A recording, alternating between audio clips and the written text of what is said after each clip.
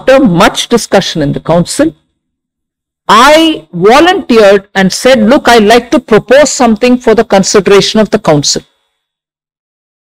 And वो ये बात है कि सिर्फ गवर्नमेंट फंड तक सीमित नहीं any fund coming even from a private and going to a private university as well, so long as they are established per law of the state or of the center, we should exempt it all. Quid pro quo, no quid pro quo for public cause or for no established public cause. In the sense, research goes to a university and they do it for larger public good or research goes to or fund research fund goes to a university maybe at the end of it they'll have a patent maybe at the end of it they will give you um, climate resistant seed varieties, this fund shall not be bearing the GST burden. After that, if the seed or the patent or whatever is commercialized and through that some money can be collected, that's a different story. So, ye bahut charcha ke baad, when I said this, I am grateful to every member of the council. Rate rationalization and the other is the GOM on real estate, both of whom had to submit or present a status report to the council, post which the discussions can happen subsequently. The rate rationalization GOM presented their details as to what has happened till now and they've also called for a meeting 23rd of this month, I think. Um, so the group of ministers on rate rationalization will meet among themselves, but a status report was given. Then a GOM on the real estate also submitted its uh, status report. Um, so these were uh, scheduled statuses which had to be submitted. Then a status on, if many of you will recollect, we had taken this decision on the uh, casinos, online gaming and um, horse race. And at that time, we said after the notification and after its implementation, six months after that, we will come up with a status. So even that status on online gaming and casinos was also presented to the council. I just want to give you one nugget from that online and casino based uh, status on uh, status which was submitted to the council. The revenue from online gaming has increased by 412%. That is, it has reached 6,909 crores just for six months, I'm giving you the figure. This amount, 6909 crore, is earned in a period of six months. I'll give you the date. Uh, from 1349 crore it was before the notification issued on the uh, um, online gaming. The comparison is of six months prior to the notification and six months after the notification. And uh, the council decision was in October 23, if you'll recall. So, similarly, for casinos, the revenue has increased by 30% uh, from 164.6 crores earlier to 200 uh, 14 crores. Again, a comparison of six months prior to the decision and six months after the decision. So the two, three statuses I've commented on. One is on the rate rationalization. The other is the real estate. The third is after six months, I was expecting to have a status report submitted on the casinos and horse racing and online gaming. So that has been presented. Now, um, two new GOMs have been decided. One is on the medical and health insurance. It will be the rate rationalization GOM headed by the Deputy Chief Minister of Bihar, but with newer members added for this limited purpose. the rate rationalization GOM under the Deputy Chief Minister of Bihar will be doing its job. But under his leadership, with newer members who have volunteered for the limited purpose of medical health insurance related GST, we told them that they will look into this matter and come with a report by end of October, just one and a half months time. And the GST Council, which will meet in November, will finalize based on this report, which will come from the GOM. So why did we have to refer that to the GOM? Medical insurance related. There was good discussion, but the details of uh, the discussion made us feel that there is more to understand and more to take a decision on. For instance, many resident welfare associations have asked what if they do a group insurance for the residents? What happens to group insurance of companies? What happens to senior citizens? What happens to life insurance as opposed to term insurance? Uh, there are also requests already in the commission to deal with medical health related situations, uh, uh, mental health related to situations, not medical, mental health related situation also was a separate agenda, but that got clubbed to this. So the insurance related matters, the council felt because of the various dimensions which came in, which I've just narrated to you, it might be worth a group of ministers to very quickly look into it. And by end of October, if they came in with their suggestions, the November GST meeting could take a call on that. So a new GOM, which is essentially the same GOM as rate rationalization GOM, but for this limited purpose, newer members join in and only for this limited purpose they will submit a report before end of October. Another GOM um, is for, I must, let me tell you a background for it.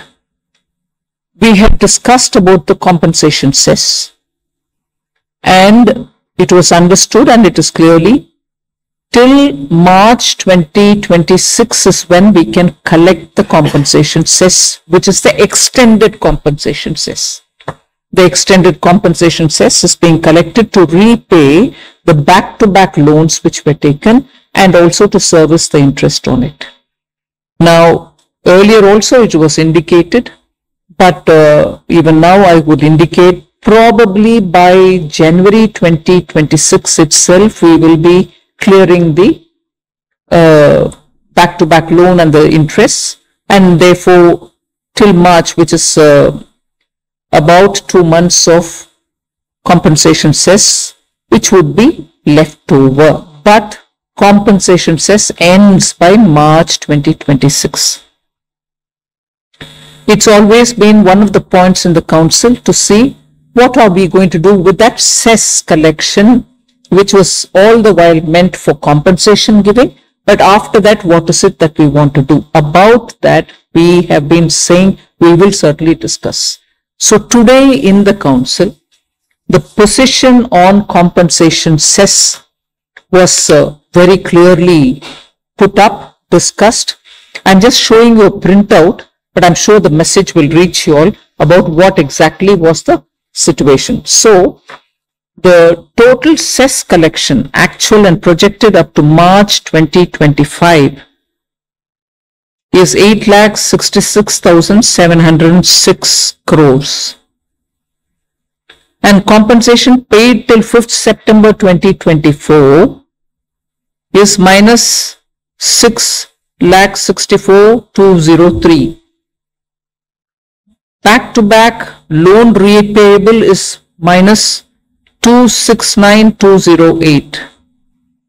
So, uh, interest on it is about back-to-back loan is about 51561 which is negative. So excess compensation to be recovered is a certain amount and the projected surplus, which I told you will be two months of collection, it will be in the range of 40,000 crores. I'm not giving you the exact number, but 40,000 crores is what would be the surplus after paying back the back to back and so on. So this was presented and after that there was a lot of discussion. So we have agreed to form a GOM which will now take it up to study every state and their discussion because Karnataka minister came up with figures which are applicable to his state. So we've said all other states which want to give theirs, we're not compelling anybody, but whoever wants to give can give. And the group of secretaries and others would discuss about it. So they will be again a group of ministers who will decide how to go forward in the name of compensation. Cess it shall no longer be compensation post March 2026, but that cess how to go about it, what to do with it, and so on will be discussed by the group of ministers. Then there is a committee of secretaries also decided today for the purpose of explaining and also uh, deciding on how to take the IGST forward. A detailed discussion was held because today we have a negative balance on IGST. So in this regard, the council decided that to finalize the way forward, a committee under the chairmanship of the additional secretary revenue will be set up with officers of both state and center. You know now there is a lot of balance which has to be retrieved from states who had had excess IGST given to them over the period. So to discuss that, there will be a committee of sec uh, secretaries who will explain how this whole thing has worked. Uh, there was also this uh, request again from Karnataka finance minister that uh, the the formulation the modus operandi of IGST, how it works, how it is calculated, how it is uh, used for deploying resources may again be exp- explained to whoever wants. There is no compulsion that everybody, some ministers felt that they would want to understand it better. So revenue secretary would have a informal meeting as and when they want, not in person. Whoever wants it, they can come on a video and talk to him to understand how IGST works. At the moment, the negative balance, which has to be retrieved from some of the states which have had excess payment done, will have to be done. But the committee of secretaries, uh, committee of officers will decide on to take it forward as to how. And that will have officers both from the center and state. So uh, these are the committees and some of the decisions which have been given to committees uh, some with a very limited time span. I again remind you on the medical insurance, they'll have to come back by October. So on the, um, there was one more which they have to come back by October. IGST. On the IGST, the secretary, uh, the committee of officers will have to come back. Then, um, the council has today decided. That funds given for research to state affiliated universities or universities which are um, uh, which have come about with state laws or universities which have come about with central laws or those institutions which have obtained the income tax exemption. So three categories. One, universities and research uh, centers which have been established by a law of the central government. Two, universities and research centers established by a law of the state governments or those institutions which, as a third category, those institutions which have obtained income tax exemption can receive research funds both from public, which is government, and from private, and they shall not pay GST. They are exempted from paying the GST. So these are some of the main decisions of the uh, GST, but there are a few more which uh, I request the Revenue Secretary and his team to explain because there are very many more decisions. One of which, uh, which I would highlight, is reduction in the GST rates on specified cancer drugs. You will recall that in the budget we had cut down customs duties. Now, GST rate on cancer drugs are also being brought down. It's being reduced from 12% to 5% in order to further reduce the cost of cancer treatment. Then also decision on namkeens, extruded expanded savory food items. GST rate on these is being reduced prospectively, not retrospectively, prospectively from 18 to 12 percent. On metal scrap, reverse charge mechanism on supply of metal scrap from unregistered persons to unregistered person provided that the supplier shall take registration as and when it crosses the threshold limit. In addition, a recipient who is liable to pay under the RCM shall pay tax even if supplier is under threshold. So largely, I've recalled some of the major uh, decisions, but there are other decisions also which have been taken, which of course I'll invite the Revenue Secretary to elaborate on. Uh, the other decisions which have been taken by the council are uh, relating to exemption uh, for the affiliation charges which are uh, levied by the boards, uh, whether of the center or of the state, for government schools. So this has been exempted.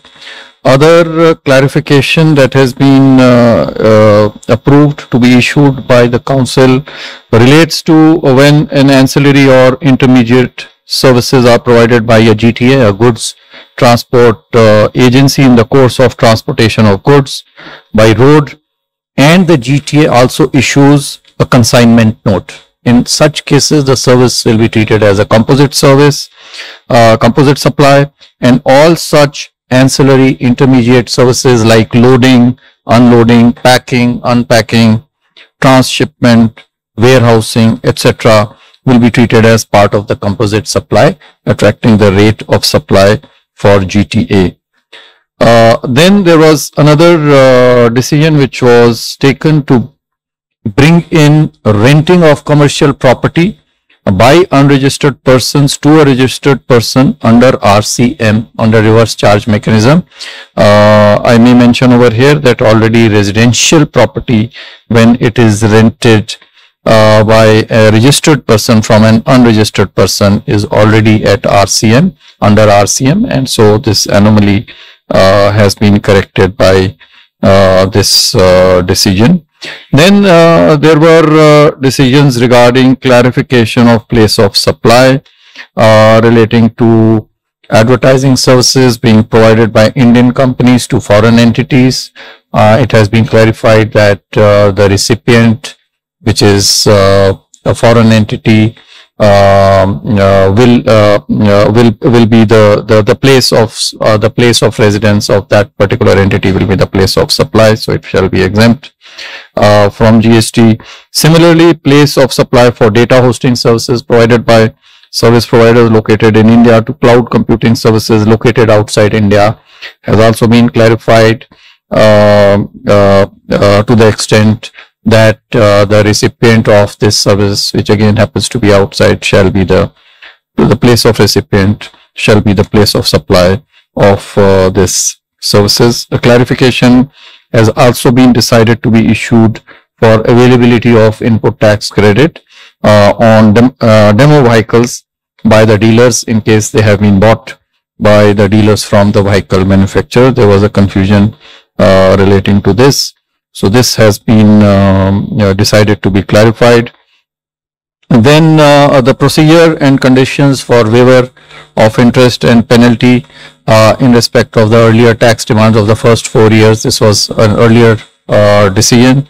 Uh, so those conditions, uh, uh, the procedure thereof has been decided in the in this meeting today. It has also been decided to recommend.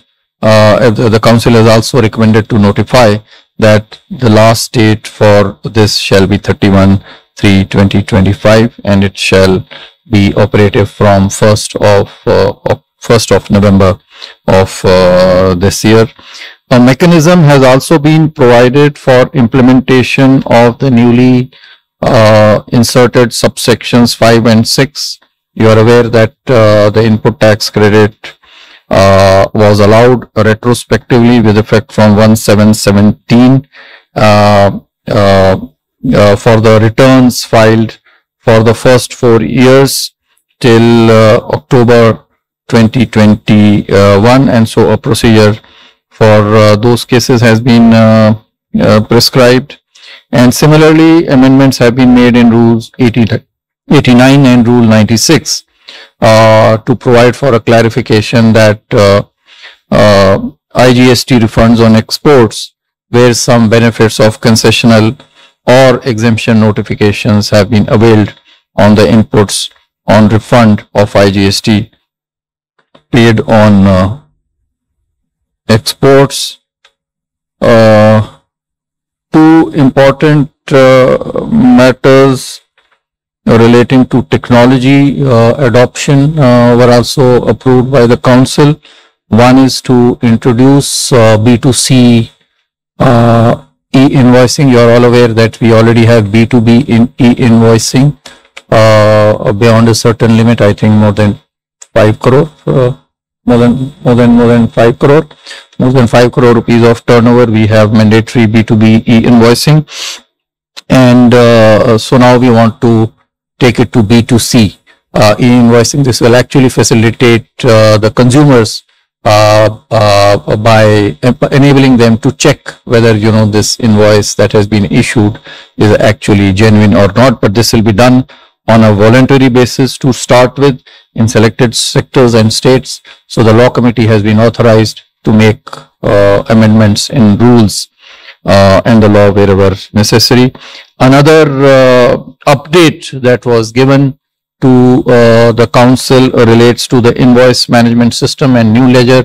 You are aware that uh, the GST actually works on input tax credit uh, and there are a lot of mismatches between the input tax credit on the one hand and uh, which is available and under the G- under the various forms that we have mismatches uh, between GSTR 1A and the GSTR 3B the return and similarly between you know GSTR 2B and GSTR 3B on the credit side as well as on the liability side. This uh, has led to a number of notices uh, sometimes you know in some of the years running into lakhs uh, which then causes inconvenience to the taxpayers on the one hand and on the other hand is also a means for tax evasion by uh, producing fake bills because there is no mechanism to actually check them. So a whole new system has part of which has already been introduced in the form of GSTR 1A and part of which uh, will be introduced from 1st October uh, for the invoice management. Uh, this will also be uh, the, uh, the this update was uh, presented to the council and last of all, a few more uh, rate uh, uh, that is rate on car and motorcycle seats. The prospectively it has been decided to increase the rate on car seats from 18 to 28 percent.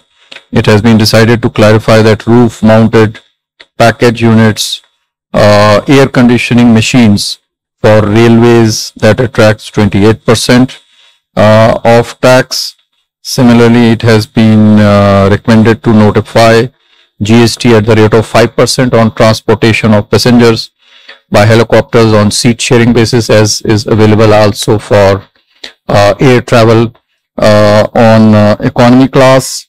It has been decided to clarify that PLC or preferential location charges paid along with the consideration for construction services, whether for residential, uh, residential, commercial or industrial, uh, will be also a part of composite supply of construction services liable to tax at the same rate.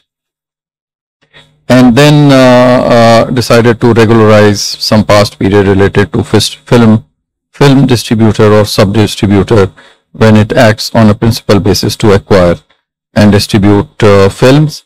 Another important decision was taken to exempt import of services by an establishment of a foreign airlines company. Uh, there were some notices which were also reported in the media earlier um, uh, uh, from a related person or any of its establishments outside India when made without consideration. Uh, the council also recommended to regularize the past period on as is, where is basis. Thank you. So floor is now open for the questions. 277.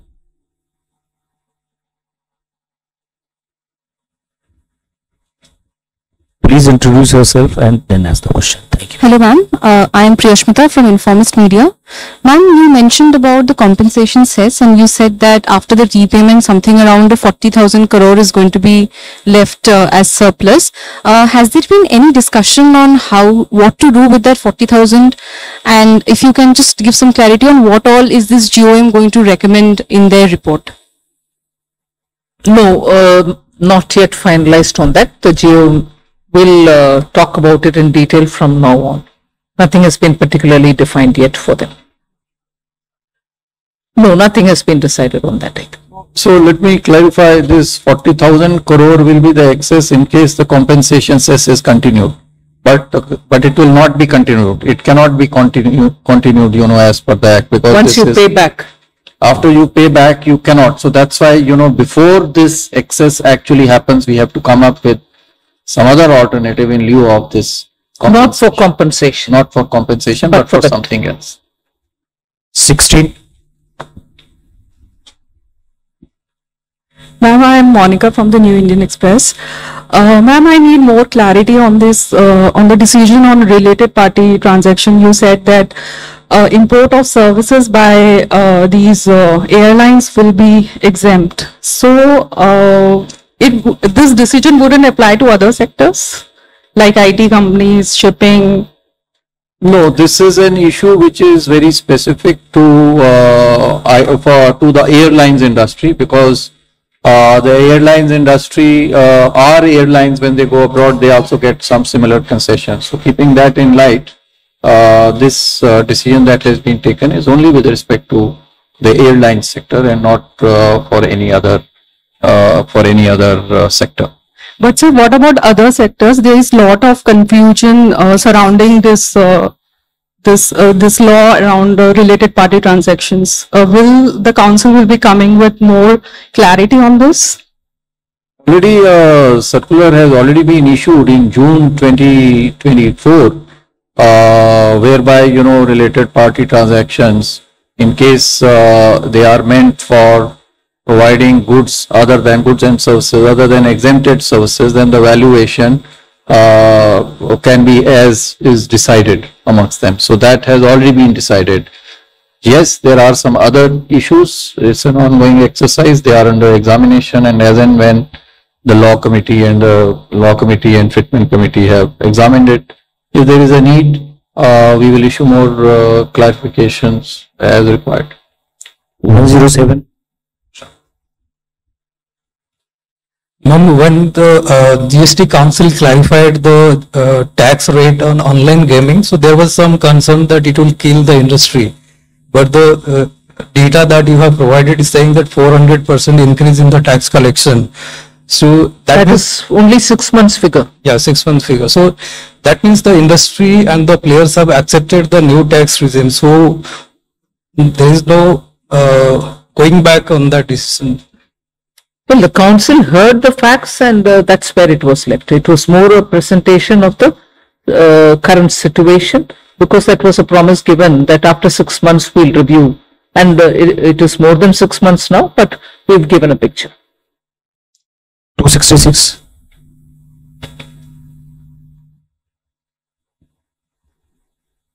Ma'am, hello, this is Surbhi from Business Today. Uh, Ma'am, just wanted to understand the way forward on rate rationalization because earlier the GOM had indicated that they would like to continue with the status quo on rates. So if you Continue with?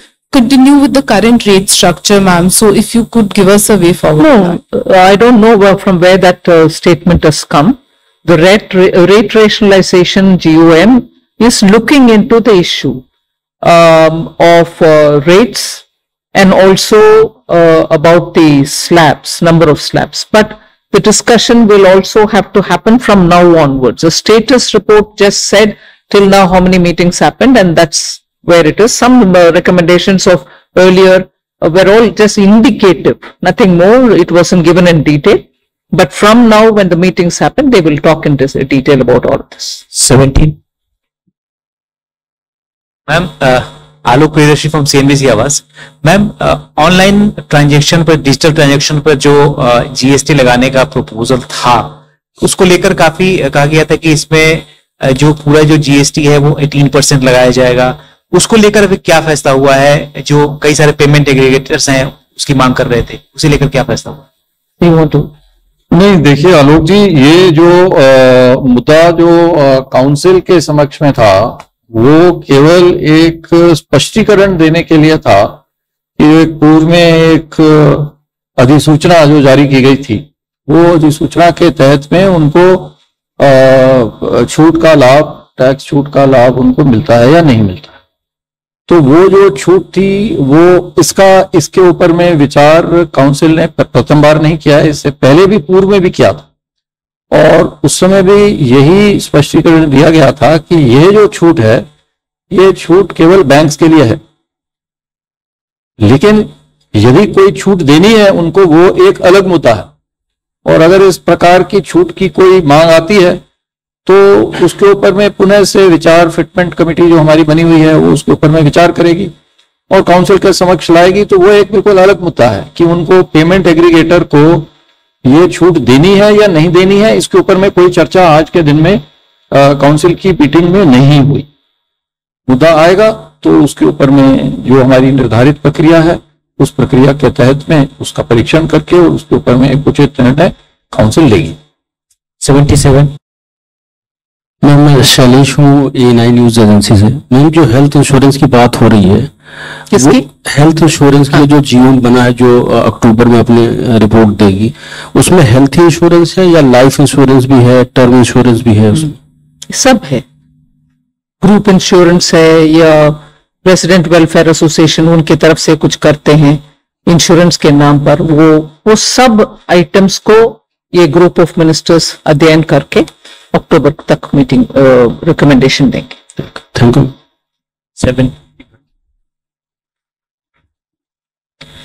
Ma'am, good evening. Uh, Ma'am, my question is on the online gaming uh, part. Uh, Were there any discussions held on the outstanding tax liabilities of the online gaming, especially the show cause notices that were issued to them? There was no discussion on uh, the retros, the old uh, part. There was no discussion. So, any roadmap on how will this be treated? The matter is sub judice. We await the decision of the courts. One, uh, you know, there was one report uh, on GOM on real estate also. Please So what was, uh, yeah, what was discussed uh, in, in in the council? No, they just gave a status report on what they've done. Okay, that's it. No uh, discussion. Okay, thank you. 95. Please introduce yourself. Uh, Good evening, ma'am. This is Sumit Chaturvedi, ET now. Uh, Did anything come as far as the electric vehicle charging stations and GST and or rate relief on them are concerned? Uh, on the EV charging station, the matter was actually deferred. There was a recommendation, of course, from uh, the fitment committee, but the council in its wisdom thought that, you know, this needs further, uh, this needs a re-examination. So as to whether, you know, this is actually an electricity supply or not and what rate, if it is not an electricity supply, uh, then what rate it should attract, the matter has been deferred for uh, re-examination by the FITMET.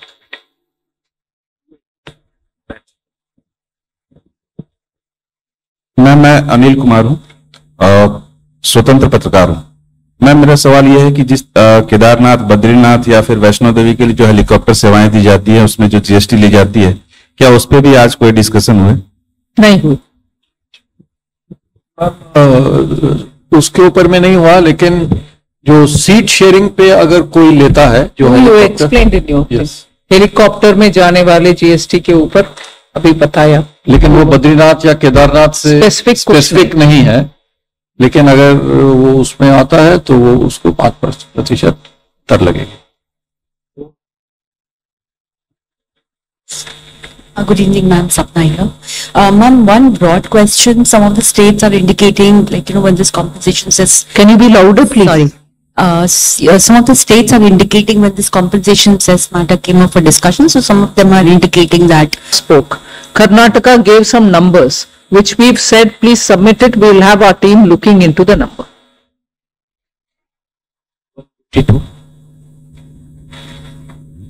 Ma'am, Meghna Mittal from Money Control. Uh, the Section 11A amendment that was introduced as a kind of a legal safeguard against retrospective tax demands, were the corresponding circulars against it, were they discussed today? Section 11A, you said? Yeah, yeah. Yeah, no, nothing was discussed regarding section 11A. It is, uh, let me, you know, clarify, lot, lot of, you know, media uh, attention has been given to section 11A. This is not a usual section to be uh, used, you know, this is a section to be used in the rarest of the rare cases. So it is not to be used uh, generally or, you know, as a practice, as a matter of practice for which we will, we would like to, you know, issue a circular at this point of time. 273 ma'am Tarun from Zee business ma'am क्या आज की meeting में real estate sector specially एक concern था कि जब हम flat खरीदते हैं तो उसमें लैंड प्लस कंस्ट्रक्शन कॉस्ट होती है तो जीएसटी जो है वो केवल कंस्ट्रक्शन कॉस्ट पे लगना चाहिए। तो उस पर कोई आज डिस्कशन हुआ, कुछ क्लैरिटी उस पे? But on the, हाँ उस पे डिस्कशन हुआ आ, लेकिन केवल जैसा आपने कहा कि वो जो है केवल कंस्ट्रक्शन सर्विस पे लगनी चाहिए वो आज के दिन में भी यही स्थिति है कि कंस्ट्रक्शन सर्विस पे ही लगती है। लेकिन उसको कंस्ट्रक्शन सर्विस पे लगाने के लिए चूँकि फ्लैट की रेट में लैंड की भी वैल्यू होती है तो उसको एक डीम्ड वन थर्ड जो है वैल्यू लैंड को एट्रीब्यूट की जाती है और उसको हटा करके उसके बाद में किया जाता है। तो ये एक सोचा गया था कि ये हर केस में वन थर्ड ज़रूरी नहीं है हो कहीं पे लैंड की कॉस्ट ज़्यादा हो सकती है कहीं पे लैंड की कॉस्ट कम हो सकती है तो उसके विषय के ऊपर में चर्चा हुई थी और अंत में निर्णय ये लिया गया कि जो रियल एस्टेट का जीएम है वो इसका परीक्षण करेगा और परीक्षण करके अपना सिफारिश काउंसिल के समक्ष रखे 39 Uh, hello, ma'am. Harsh Kumar, this is from Business Standard newspaper. So, ma'am, uh, what states actually suggested on insurance, uh, GST? No, actually speaking on insurance, there were a lot of discussion about which one is going to be taken up. Will we reduce the rate or will we exempt it? For who should be exempt and who should not? What happens to uh, group insurance? Then uh, are we going to then carve out only for uh, senior citizens? Uh, will this not complicate the implementation? And therefore, a lot of these uh, issues were brought up for further discussion. And that's where we thought it's better that this goes through a rigorous looking into by the GOM and then they come forward. Because these aspects were differently talked and uh, uh, the question was raised on that. Any, any specific numbers? What numbers? Oh no, Three. Uh, Ma'am Siddharth from Times of India. Uh, I have a couple of questions. One is, uh, ma'am, what is the, uh, did the council discuss the future of cess in the sense that will it continue or not continue after uh, from 1st of April 2026? Number one. Number two, on that research part, uh, will the clarification apply prospectively or retrospectively? Uh, whether it will start from uh, 2017 itself. And the third question is, you talked about IGST excess payment. What is the extent of excess payment? One minute. Your first one was on compensation. Compensation. And the, the second one was on the research. Okay, the compensation cess, I would like to say this for the benefit of many of you who repeatedly have heard me say this, but I want you and myself to have some clarity even as I talk. Even at the time when the compensation cess was extended, after due consultation with the Attorney General uh, then and also in the Council several times, it was extended only because we had money to be paid to the states through the back-to-back loan and that was back-to-back for the sake of giving compensation which we could not collect because of COVID. So, since that compensation was strictly for, since that cess was strictly for co- collection of compensation related monies, it was calculated as to what is the total amount which has been borrowed for the back-to-back and the interest which is due. And it was extended clearly, legally also, only to such an extent that you have to pay the back-to-back loan. And that is why uh, I remember the f- first question. Uh, sorry, I forget your name, Pratyusha. Huh, Priya. Although we said extended till March 26, if the payment gets cleared by December or January of 25, December 25 or January 26, post that strictly you can't be collecting the compensation cess. The constituting of GOM to talk about the compensation cess's future because beyond paying this backlog loan, which is the back-to-back loan and the interest for it, there cannot be a collection of cess for the compensation or compensation related purposes. Because that particular compensation cess was purely for those first five years when you had to pay the states uh, the gap between the protected and actual revenue. That saga ends with June 30th, 2022. But because it had to be uh, paid through borrowed money, legally after consultation, we have extended this compensation cess to such a time that we can pay this back and at that time tentatively till 30th, 31st March 2026. Now, if we pay that back by, let us say, January 2025, strictly this cess no longer can be called compensation cess. Clear till then? Now, after that, if the cess has to be collected, it can't be compensation cess, but if it has to be collected, what? How do we do it? For what we do it? What rate at which we collect? What happens to the cess? That is what the GOM is going to talk about. Anything else on 45. No, wait a minute. He had asked three questions. I've finished one. The second, on the research, I just want to give you a bit of a detail. And this is apps research related funds going to the institutions and the notice which had gone to seven such institutions was not an attempt at ta- tax terrorism, was not an excess. I say this with a certain responsibility because where there are interpretation related issues, an officer in the field will certainly want to be sure that he is doing his job, he is collecting the money that he should collect because some of these research funds which have gone to some institutions had a component that there could be some kind of a quid pro quo. And therefore the officer had to, and they are not one officer, one jurisdiction, they are different officers, different jurisdiction, all acting per the law before him. There are seven such institutions to which the notice went. Therefore, this came up for discussion in this scale, a lot of uh, outpouring naturally.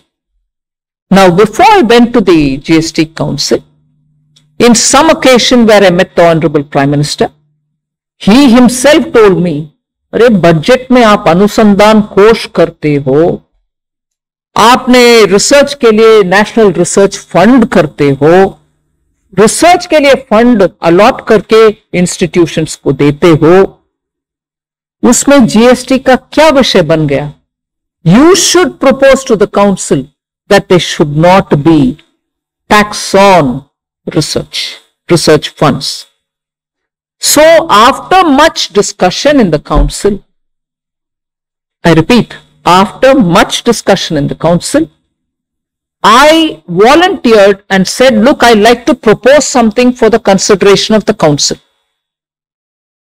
And वो ये बात है कि सिर्फ government fund तक सीमित नहीं any fund coming even from a private and going to a private university as well, so long as they are established per law of the state or of the center, we should exempt it all.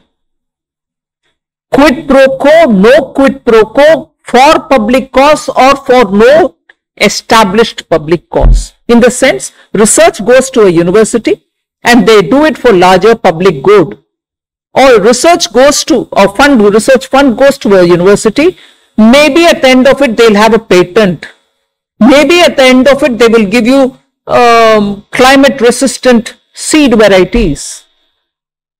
This fund shall not be bearing the GST burden. After that, if the seed or the patent or whatever is commercialized and through that some money can be collected, that's a different story. So, ye bahut charcha ke baad, when I said this, I am grateful to every member of the council.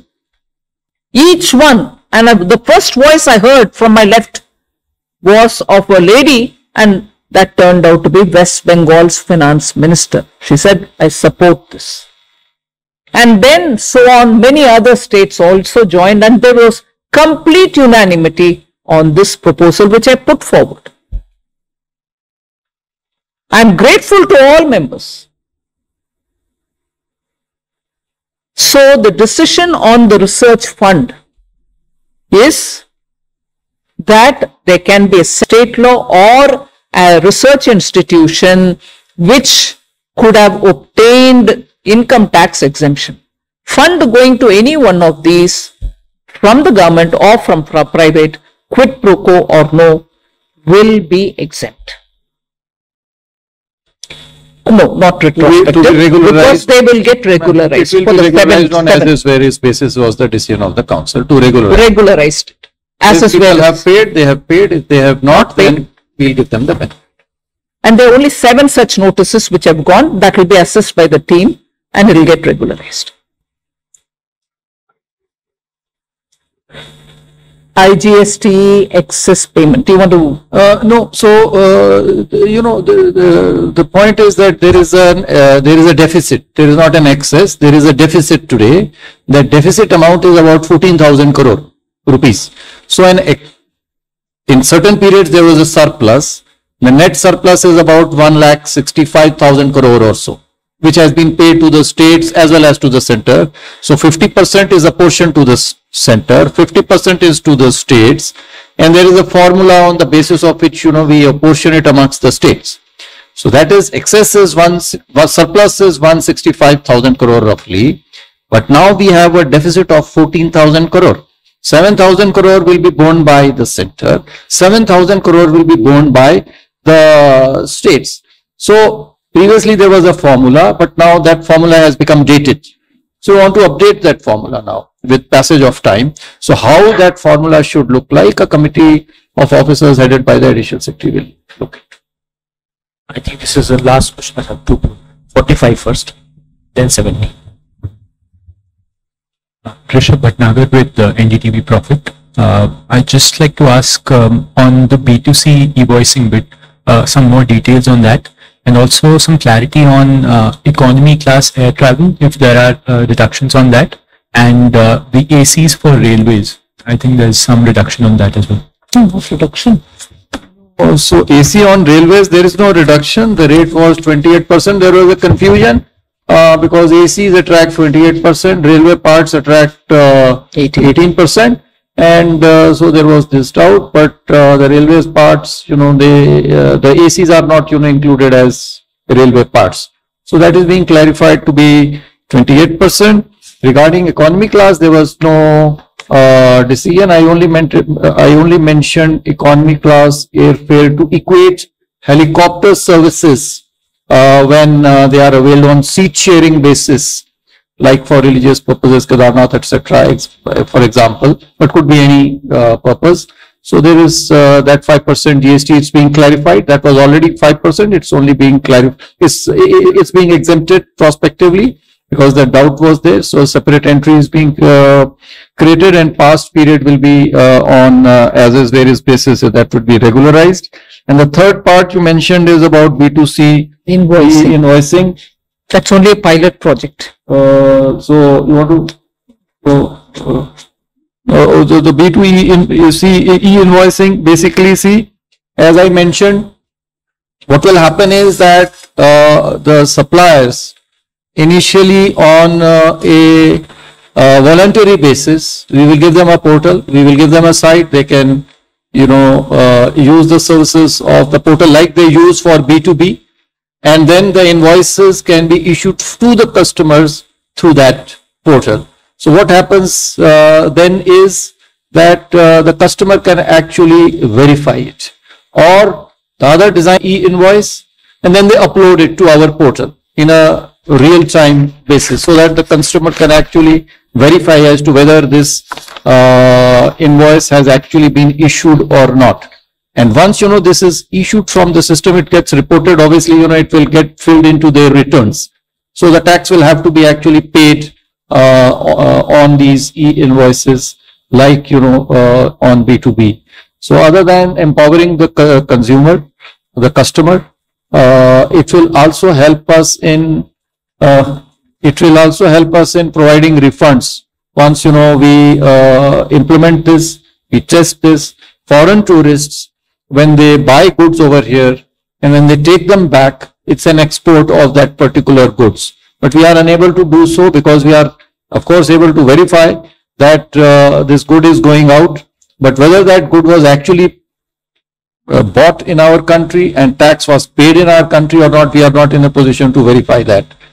So with this system, the customs authorities at the airports will be able to verify as to whether these goods which are now being taken back to their own country, whether uh, they have actually been bought in our country or not and eligible for uh, a, a refund or not. So these are some of the benefits uh, of e-invoicing. Other than this, you know, benefits of tax evasion, it will also help in reduction in tax evasion.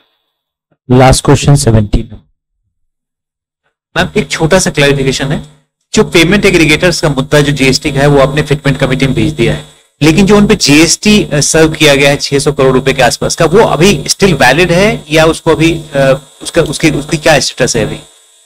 वो notice जो है लगभग पाँच अगस्त के आसपास में दिए गए तो अभी वो नोटिस का वो पीरियड होता है, उसमें अभी वो नोटिस को जवाब देंगे। जो कंपनियाँ हैं, वो उसका जवाब देंगे और वो उसको जवाब को ध्यान में रखते हुए और उसके ऊपर में ऑर्डर पास किया जाए Uh, one last point, which is uh, one uh, interesting point for you. Back again, many of the states were requesting if GST Council meetings could be held in their states. Kerala has been uh, waiting for last two, three years. They repeated their request. Uh, today, interestingly, many other states also joined in this list. Um, I had uh, uh, Meghalaya Chief Minister suggesting that we should go to Meghalaya for a council meeting. So was Gujarat, so was Uttar Pradesh, so was Bihar, and many other, Telangana, and many other states also have offered. So it could be that the council will take a call where they want to hold the next uh, GST meeting, and from then they will be moving around to different states. so that states also feel that they've hosted the GST. This is also. Of course, you will come. You will come to cover, won't you? So they are making the request. Yes, sure. Good, we do it. So thank you very much.